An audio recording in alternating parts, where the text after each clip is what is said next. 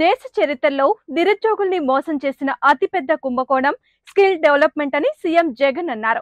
నైపుణ్యం పేరుతో డబ్బు దోచుకున్నారని జగన్ ఆరోపించారు. ఈ స్కిల్ డెవలప్మెంట్ స్కామ్ ద్వారా విద్యార్థులకు నష్టం జరిగిందని వెల్లడించారు. సిమెన్స్ పేరుతో రాష్ట్రంలో అతిపెద్ద స్కామ్ జరిగిందని జగన్ అన్నారు.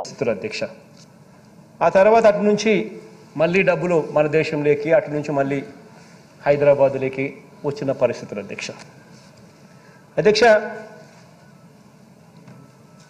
ఈ స్కామ్ అధ్యక్ష GST intelligence IT income tax ED ఇలా ఏజెన్సీలన్నీ కూడా దర్యాప్తు చేస్తూ ఉన్న స్కామ్ అధ్యక్ష ఇది మన సిఐడితో మొదలు పెడితే జిఎస్టీ ఇంటెలిజెన్స్ ఈడీ ఐటీ అందరూ కూడా దర్యాప్తు చేస్తూ ఉన్న స్కామ్ అధ్యక్ష అధ్యక్ష ఈ దోచేసిన సొమ్మును అధ్యక్ష విదేశాలకు అక్కడి నుంచి తిరిగి మళ్ళీ దేశంలోకి తెప్పించి షెల్ కంపెనీస్ ద్వారా విదేశాలకు విదేశాల నుంచి మళ్ళీ దేశంలోకి తెప్పించి దేశం నుంచి ఏకంగా చంద్రబాబు నివాసం ఉంటా ఉన్న హైదరాబాద్కు తరలించిన పరిస్థితులు అధ్యక్ష.